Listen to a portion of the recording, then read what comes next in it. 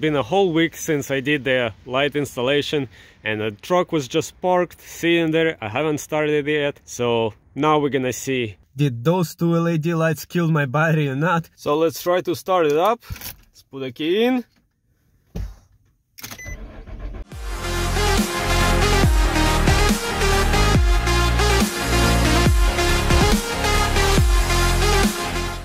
Hello and welcome to another Xterra video where I work my truck. Sometimes I'm successful, sometimes I'm not. And on today's video we're actually gonna continue working with our lights. A while back I got some pod lights for my hood so that's where we're gonna be working today so this is all the stuff i got and hopefully hopefully this time it's gonna be enough and i'm not gonna be missing any parts once again i got this wire harness which i opened it up to just to make sure that this was the right one and this is the lights which will come back in a minute. Also i got all the hardware and i got a variety of all kind of screws because uh, what the light came with in the bracket which i'm gonna show you in a minute is was not really it was okay but it was missing a few parts. So just to make it better i got some other stuff I will show you as well. And this is just a typical bracket that goes on a hood I got it. It was pretty cheap. And of course this is the lights itself. I went with the amber lights and I think and I hope that these lights will work pretty good.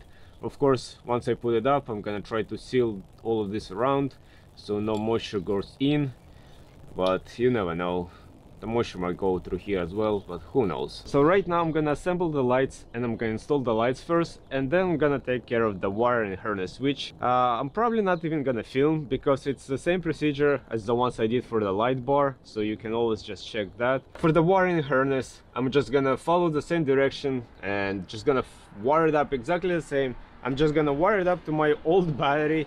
So now I'm gonna have two LED lights here and I'm gonna leave it as it is and we're gonna test it again will those two LED lights kill my old battery in a week or not? If it doesn't kill it's pretty good. Which i'm always gonna leave an update in the description but we'll see. And uh, again for now i'm just gonna wire it up like that because i'm working. I'm planning to do something over here maybe inside which gonna take care of all the wiring. But for now let's just assemble the lights because it's a little bit tricky to do it and then I'm gonna work on a wiring harness. Now as you can see I already assembled one of the lights because I was testing it out what could be the best way to do it and what I actually need to do it in order to get this done right. So now I'm just gonna show you what I did over here. I replaced all the screws that it came with. That's why I got uh, the black screws. Uh, I feel like they're better quality. I also got these lock washers. So I put the lock washer in between the bracket and uh, the bracket and then over there I used another washer and another spring washer to keep it tight. The same thing I use inside there. I put uh, lock washers on both sides to make it tight and with a spring washer. That way it all came out good. So now I'm just gonna repeat procedure with this light and we're gonna be ready to install it. So this is the hardware that it comes for this particular light but one of the things that this bracket over here it doesn't really doesn't really get tight in there anyways. So that's why you need to use washers on the inside and then it gets tight. So first on the inside over there we're gonna use these 3 8 lock washers. So first on the inside we're gonna use these 3 8 lock washers. We're gonna use these 14 millimeter screws that's gonna go on the sides along with two spring washers that it actually comes with. So at least we're using some of those parts. So to align all of that in there that could be a little bit tricky but just play with it take your time and it's all doable. So once i get all of this done we'll continue. Right after a little bit of a struggle i was able to align the washers in there. I'm not gonna make it tight yet so i can adjust it. And just keep in mind the way you assemble this bracket it has to be underneath where the wire is because if you put it the other way around the light you're not to be able to point the light down. But in this way you can adjust it to point it more down or up and stuff like that. All right so now let's assemble this part which is comes over here and different set. And and as always i'm gonna leave all the links in the description so you're free to look at those parts as well but maybe you can find something better now I'm not gonna reuse any almost none of those parts. Now over here if we just uh, screw it like that it's not really gonna get tight because uh, it's kind of soft surface so it just moves around. So that's why you need to use one of these half inch lock washers. So that's just gonna go over here like that. Then we're gonna use uh, was able to find these washers which is a brass washers and this is a number uh, 14s whatever that means uh, they were the closest thing I was able to fit in this in that groove over there. I hope you guys can see it because there is a, like a little groove in there. So I had to use one of these washers to fit it in there. Along the side with this M6 lock washers. I don't know why I always call them spring washers but they are lock washers. Anyways and to screw it. I'm not gonna use the screws that it comes with. I picked up this um, M6 12 millimeter screw so that's what I'm gonna use. And it's black as well. So now we're just gonna align everything like that. This washer goes over here. Then we're gonna take this screw like that and just screw it in there just try to keep the washers in the middle. That way it has appropriate grip and it gonna make it tight. Probably it's better to assemble this first than this but anyways you can do it with the Allen key no problem. All right and that's pretty much how it's gonna be. And that's it. This is ready to be installed on a hood so let's do that now. And to install this on a hood is is very simple. All we have to do is just unscrew this bolts and then we're just gonna slide it over here and make it tight. Now just keep in mind about this little plate over there that slides around like nothing. This has to stay in there. So you don't crimp the individual but you kind of crimp it with this plate. Let's just check it out make sure it fits. All right and just like that. Now before screwing it in I actually saw a few posts saying that people that over time these screws come loose and they just come off. So what I'm gonna do I'm gonna put a thread locker on them. So hopefully that will prevent it from these screws coming loose. So now I'm just gonna apply a little bit of thread locker on them. Okay and now let's just screw it in. All right now this is all secured. Now let's just close the hood carefully and just keep an eye make sure that the bracket doesn't interfere with the hood and with uh, anything that there is enough room and yeah it fits perfect. So now I'm gonna do the same on the other side and we're gonna continue. The second light is in.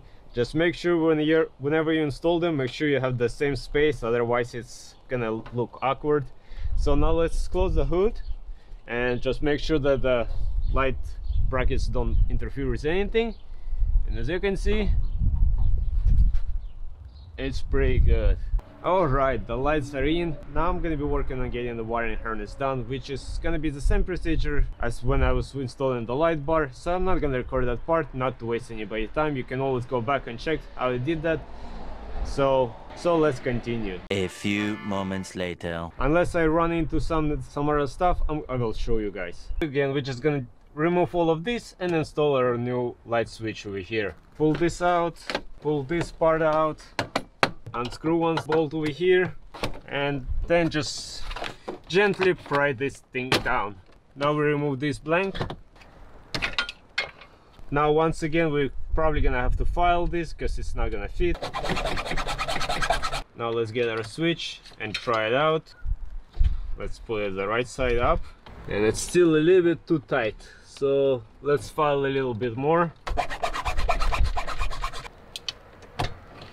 Beautiful. So now let's just put everything back in place. Alright guys, so again, I used the same wire loom to wrap around the cable. I brought it to the same firewall place, at least for now. So this is my switch wire over here.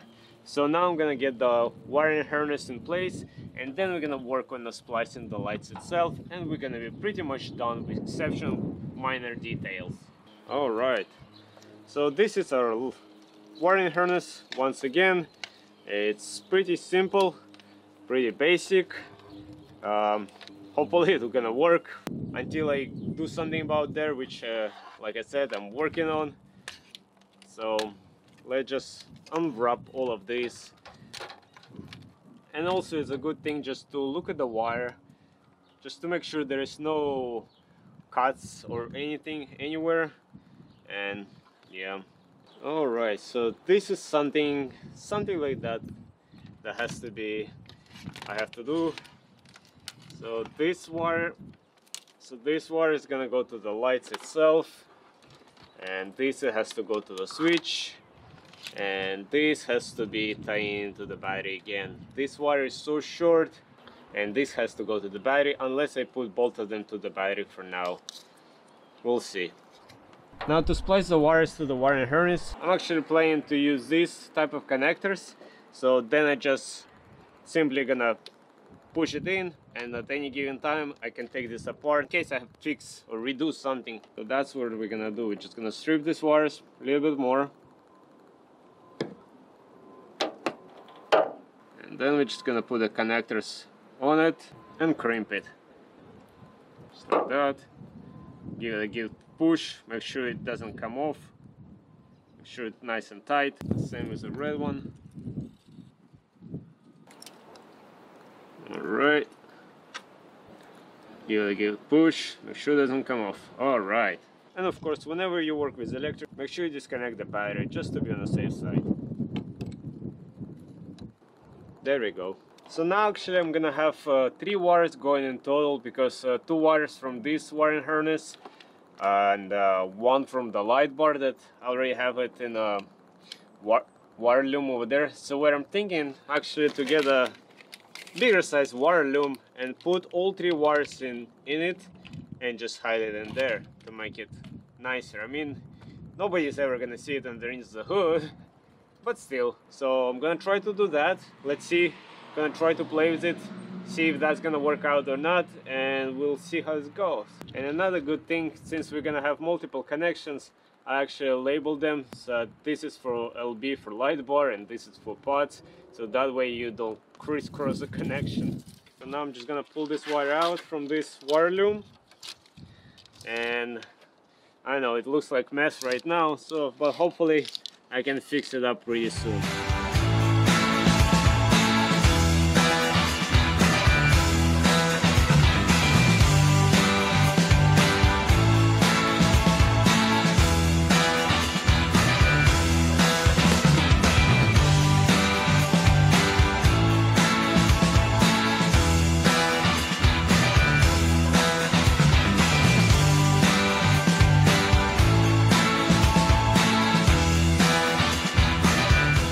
Okay guys, so now all the three wires inside this new wire loom, the bigger one. So now I'm gonna have to just um, play with it a little bit to configure how I'm gonna secure it, where the wire is gonna end up.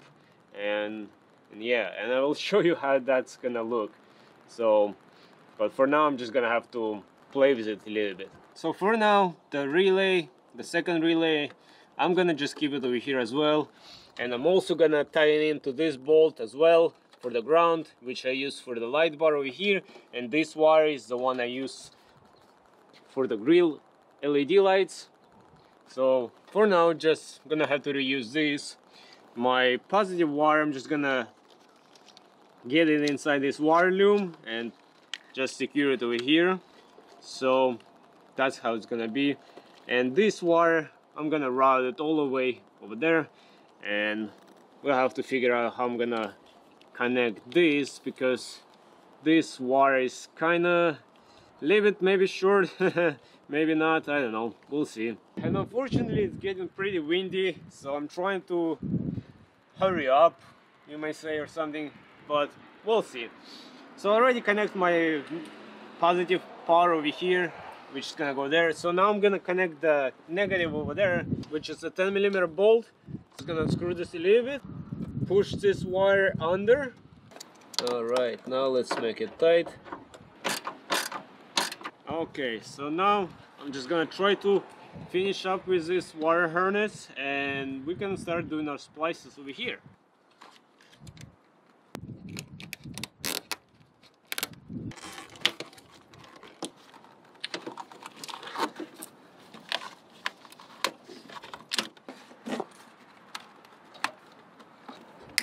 Alright, not too bad. Can almost not see any water or anything. I think it's coming out pretty good. So now I'm gonna work on splashing the wires to the to the lights and we're pretty much done. So now let's just do this connection over here.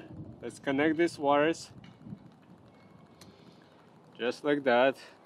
Now I'm gonna put tape on it individually and then I'm gonna put the tape on the black cable. That way it's all gonna be sealed and I'm not planning to put the heat shrink over here because I feel like this is gonna be underneath the hood. I don't think it's gonna be necessary. I might be wrong, maybe not, I don't know. Leave your comments down below what you think. Should I put a heat shrink here or not? I can always redo this. So now we secure this wire. And once again, this is a, I guess they call it like a special electrical tape that it's uh, weather and heat resistant and cold resistant. So that's where I'm using it over here. So it should be good. Now I'm just gonna tape up the rest of the cable over here to make a nice seal over here.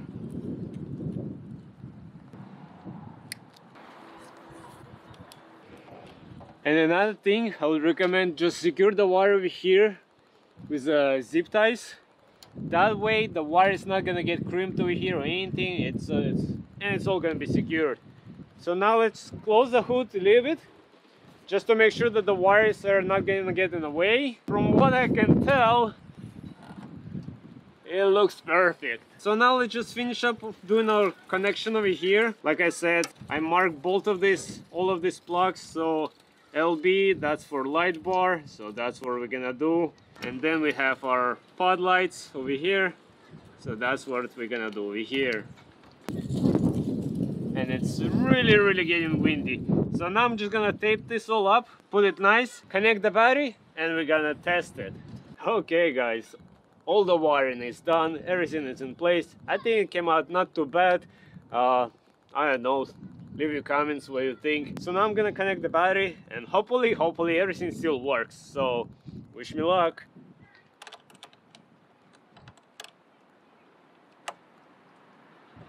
Now the last step is we're gonna seal this all the way around over here with this uh, waterproof silicone. So hopefully that will keep these uh, lights intact and no moisture is gonna go in, hopefully. And just small amount like that. Apply all the way around and then you can always just wipe it all off. Just like that.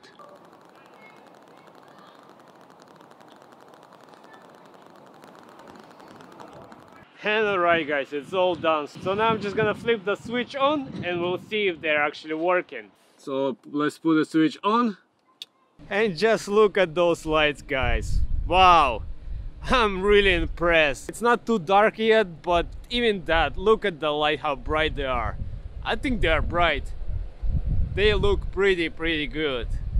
I like it. So that's how the lights look when the just the lights are on and now I have all the lights on. My fog lights, my headlights, my grill lights, my hood lights and my light bar. So many lights. I really like it how it all came out. This is pretty pretty good. Alright guys, I'm again on the empty parking spot. So right now I have my headlights on. My regular lower beams are on. So that's how it looks. And now if I turn the headlights off, it's pretty dark. So now I'm gonna turn my new amber lights on and let's see how it's gonna look. And look at that! that looks pretty good. I think that looks pretty good. Look at the light output of those lights, guys. Look, it. I feel like it's pretty good, especially for the price I pay. This is a pretty good light output. I mean, it's not gonna lit up a mile away, but this is pretty good. Maybe I still have to adjust them a little bit. Even that, that looks pretty good. And if you stand right in front of the lights, that's pretty bright as well. Wow. And now I have all the lights are on. That's a lot of light output. So now I'm driving with my headlights on, but if I turn them off and I just turn the amber lights, you can already see the difference. Look, they're really doing a good job lighting up this road. They're small yet very powerful. I really like them. I really like them. Maybe I have to aim them a little bit, but even that, that's a very good light output. I'm happy. And of course, if now I'm turning my amber lights on and my light bar, it's a different story. It's a lot of light. It's a lot of light. 2,000 years later. And welcome back everyone. It's been a whole week since I did the light installation and the truck was just parked, sitting there. I haven't started it yet. So now we're gonna see did those two LED lights kill my battery or not? But as you can see, I still have the lights on them. So there is some kind of power. So let's try to start it up. Let's put a key in. And it starts right up, no problem guys. It starts right up. Nice. But those two lights didn't kill my body. It's been sitting here for the whole week. And as you can see, it's working. So those two lights, they draw in, I believe they draw in very, very minimal power. So it's all good. Nice. Let me know what kind of pod lights are you guys using and what kind of light bar you guys using. And maybe I will upgrade something in the future. But even during daylight these lights they look bright. As always i'm gonna leave all the links in the description to what i've been using. Hopefully that's gonna give you some idea. And leave your comments what else you want to see me doing on the truck i'll try to do that. I have something planned in the future but only time will show when I, that's gonna happen. But anyways i hope you guys enjoyed this video. I hope you might find it helpful. And until next time everybody bye Thank you